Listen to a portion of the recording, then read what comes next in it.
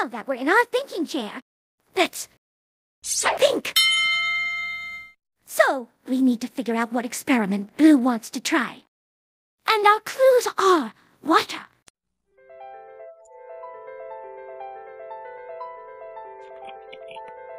tape,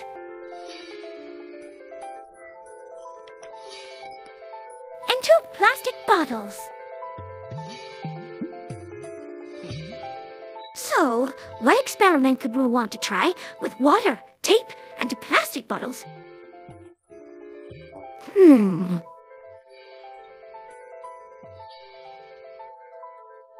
Oh, hey, you think Blue wants to put the water in the plastic bottles. And then get the tape and tape them. Put the tape all over them. Just start taping them all up with the tape. No, that'd just be too much tape. Well, what if we put water in one of the plastic bottles?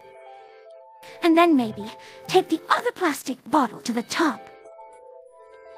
And then we can just swirl it around. That would make